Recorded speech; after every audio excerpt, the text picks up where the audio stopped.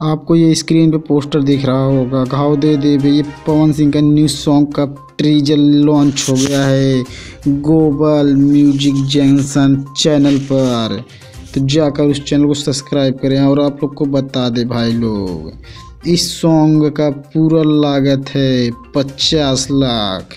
और इसमें पवन सिंह बहुत धाकड़ अंदाज में गाए हुए हैं और इसकी फीमेल गायिका हैं सिल्फी राज जो पावर स्टार के साथ गाई हैं इस सॉन्ग में।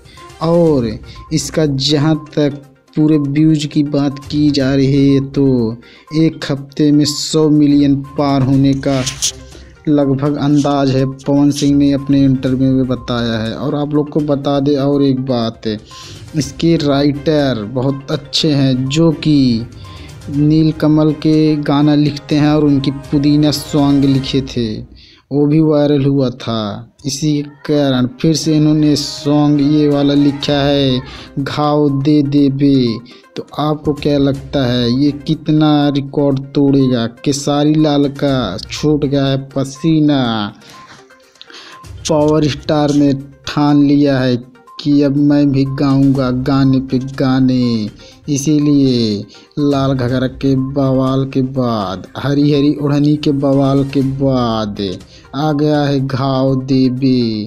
देखने को मिलेगा ये कितना घाव देता है पब्लिक में। तो आपको क्या लगता है, कब आएगा ये सॉन्ग अभी तक इसका ऑफिशियल डेट नहीं जारी हुआ है, लेकिन जल्दी ही लॉन्च होगा ये सॉन्ग तो धन्यवाद, और चैनल को कर लें सब्सक्राइब